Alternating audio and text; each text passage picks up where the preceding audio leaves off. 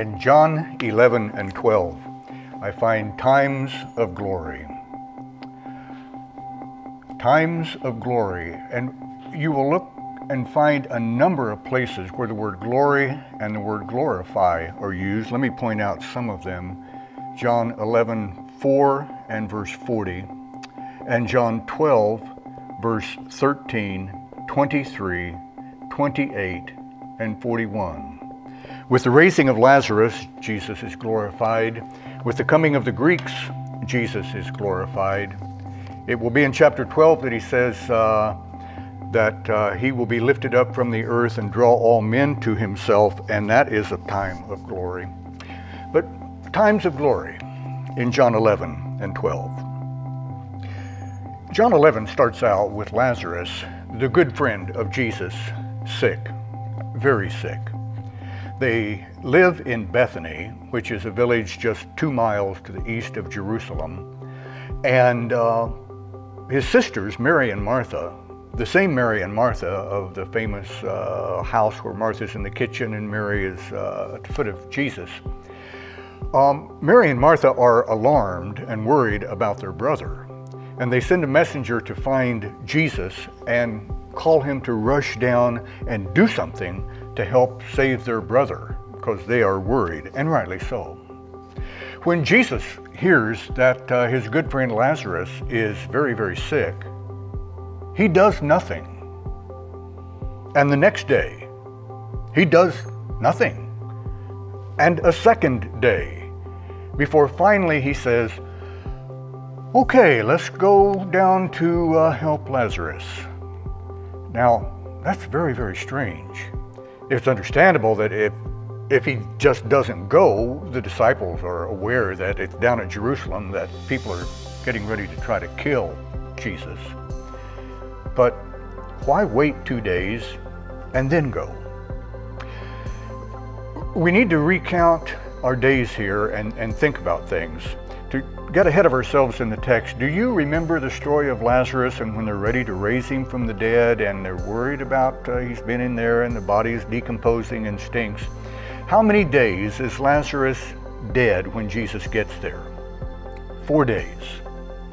Now, what if Jesus had not delayed for two days but had left immediately and come? What would he have found when he got to Bethany? Take away those two days, why, Lazarus would still have been dead for two days.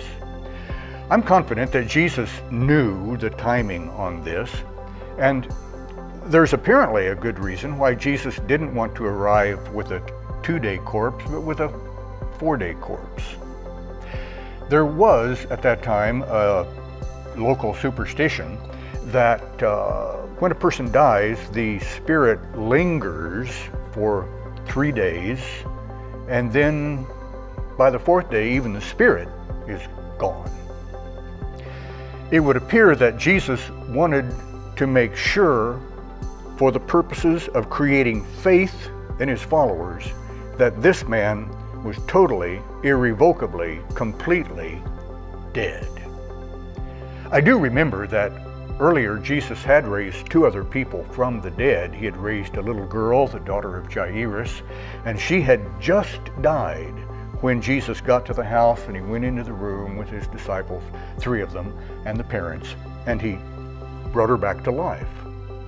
And there was another occasion, also in Luke, where Jesus uh, raised the son of the, uh, a woman of Nain, a widow, and uh, he had been dead for a few hours. Enough time that uh, they had washed the body and prepared for the funeral. They had to bury the body within 24 hours, and now they are on their way out to the cemetery when Jesus interrupts the procession and raises this man, now dead for some hours. But Lazarus is going to be four days dead. It's not a body freshly washed and ready and otherwise looking fine. This is a body already starting to decompose, a body that already is creating the stench of death. As the King James would say, he stinketh. Now, when Jesus is ready to go to Bethany, he tells his disciples, Our friend Lazarus sleeps, and I'm going to go wake him. they misunderstand. The word that Jesus used could be understood as either sleep or death, and they chose sleep, understanding that like an accident victim or something, if now you're resting comfortably, probably you're going to heal up and get well. And they think that if Lazarus is sleeping, that's a good sign. He's going to be fine. We don't need to go down there and put ourselves in peril. Jesus wasn't talking about sleep, sleep. He was talking about dead sleep. And he clarified that then to the disciples. And we're really going to go down there. And it's Thomas, bless his heart, who says, Well, let's all go with him so we can die with him. And that may have been just a pessimistic kind of a comment, or it may have been a courageous comment. Maybe we ought to give Thomas the benefit of the doubt. Doubting Thomas. And so they get to Bethany, and when Jesus is arriving, it's Martha who first sees him and comes out to greet him and says, I think with a bit of reproach in her voice, at least sorrow, Lord, if you had been here, our brother would not have died. Now that, that's faith that Jesus could have saved him. It's also a bit of reproach that now it's too late to do anything. And Jesus says those wonderful words to Martha in John 11, verse 25 and 26. I am the resurrection and the life. He who believes in me will live even though he dies, and whoever lives and believes in me will never die. Do you believe this? He said to Martha. And she did not exactly say, Yes, I believe that, but she said, I do believe that you are the, the Messiah, she did believe in him. She didn't know what to believe otherwise. About that time, uh, Mary, back in the house with the mourner friends, uh, sees what's going on, and uh, she is uh, contacted, and they, she tries to slip away quietly to come out and see Jesus. The other mourners in the house see that she's leaving and they assume she's going out to the tomb to do some more mourning, some more wailing, and they want to go with her. A word about funerals as they were conducted in that century. It was customary among the Jews that uh, you were required to have at least two flute players, mournful type of flutes, uh, think Indian flute music, two flute players and one professional mourner. You had to have at least that. And then you had specific days of deep mourning and lesser mourning and a whole month where you didn't uh, wear anything but uh, black or dark clothes, so on. They had procedures that they went through. And so these mourners thought it was their duty when someone cried to go cry with her. She's going to wail, we'll go wail with her. And so when she goes out to meet Jesus, she will say the same thing Martha said if you had been here, our brother would not have died. And they're going to go from their little meeting place over to where the tomb is. Jesus says, Show me where you've laid him. And it's not only the two sisters, but it's all the rest of the crowd that has come out with Jesus. And they go there to that place. And this is certainly one of the most dramatic moments of all the earthly ministry of Jesus. Jesus says, roll away the stone. And Martha, the practical one, says, no. No, Lord. Oh boy, you better be careful when you say, no, Lord. Whatever the Lord says, and you say, no, Lord. That's what she said. Because he's been there four days, and by now there is an odor, to put it politely, or he stinketh, to put it bluntly. But they rolled away the stone. And Jesus said, Lazarus, come forth.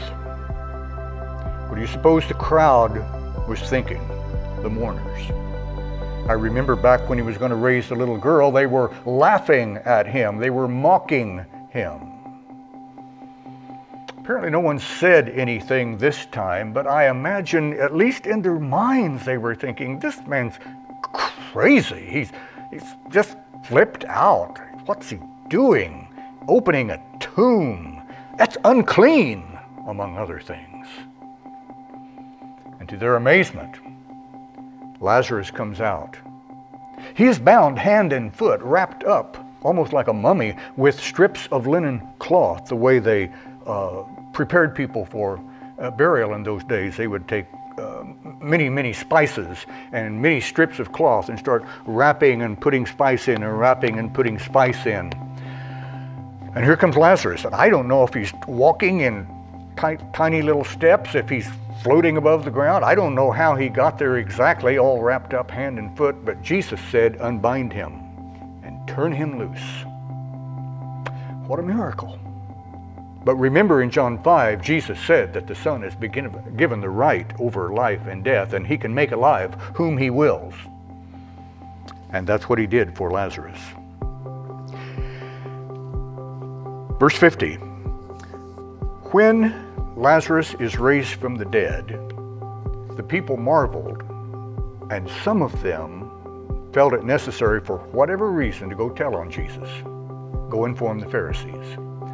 And when the leaders have found out what is going on, it is the chief priest, Caiaphas, who says more than he realizes because as chief priest, the Holy Spirit inspires him to say something with deeper meaning than he knows.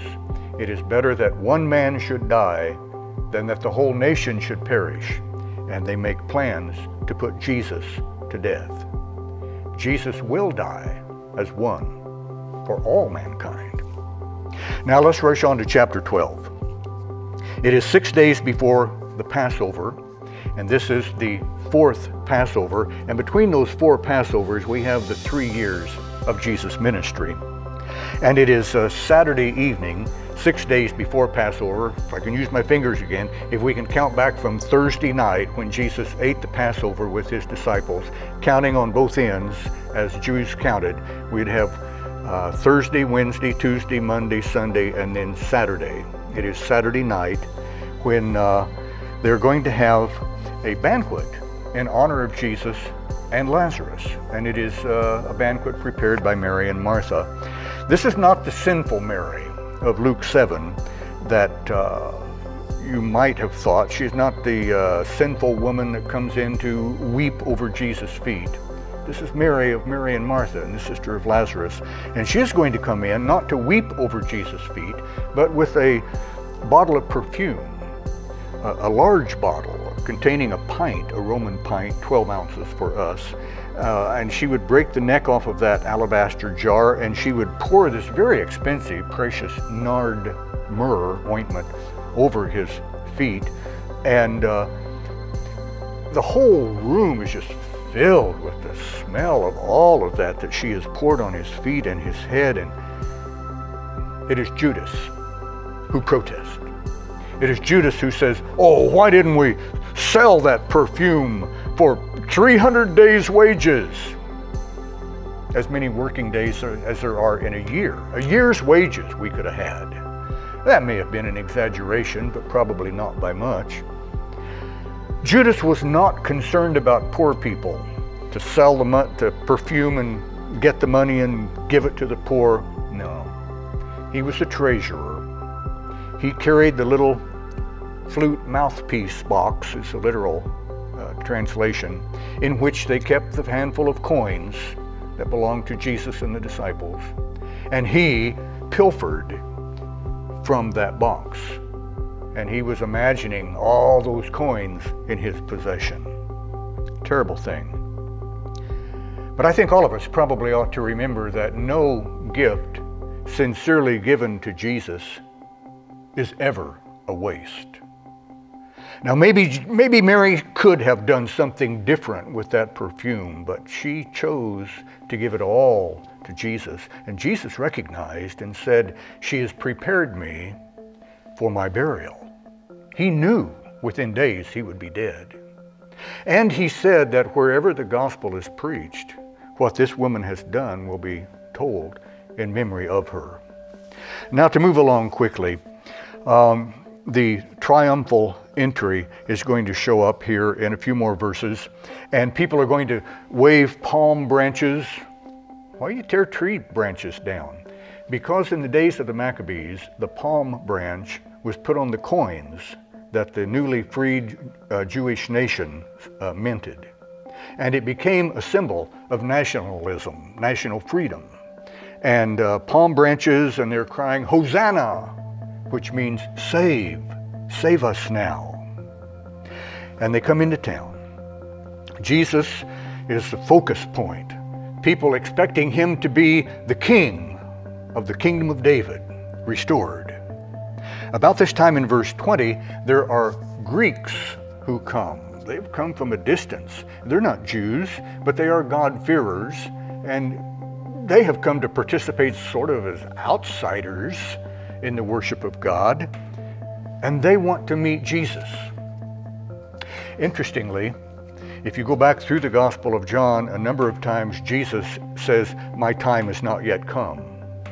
Chapter 2 in the miracle of the wine my time is not yet come. But now, for the first time, when the Greeks come seeking him, when the nations have come to see Jesus, he says, Now my time has come. It is time for him to be glorified.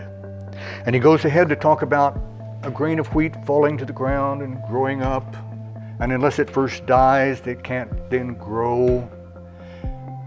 And then he says about himself, And I if I be lifted up from the earth, will draw all men to me.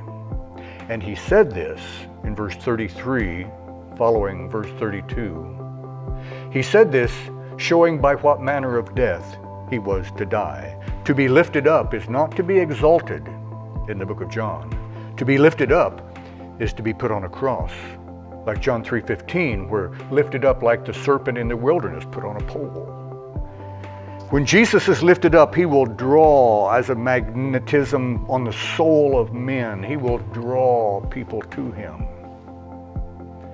And if people can watch Jesus die for them on the cross and not be drawn to him, well, I just want to say there is no other plan. There is no other magnetism. There is no other call that will bring Jesus, uh, people to God and bring people to Jesus except this that he will die for them on the cross. Now, at the end of chapter 12, there is one more thing that mentions in verse 41 that Isaiah was able to see ahead as an inspired prophet. Isaiah, called the gospel prophet, Isaiah who spoke a number of things, especially like chapter 53 about the, the lamb led to the slaughter and, and uh, how he, our sins are laid on him and for our, by his stripes we are healed all of that. Isaiah saw my day. He was able to see the glory of the day of Jesus. That's a beautiful thing. But here's an ugly thing.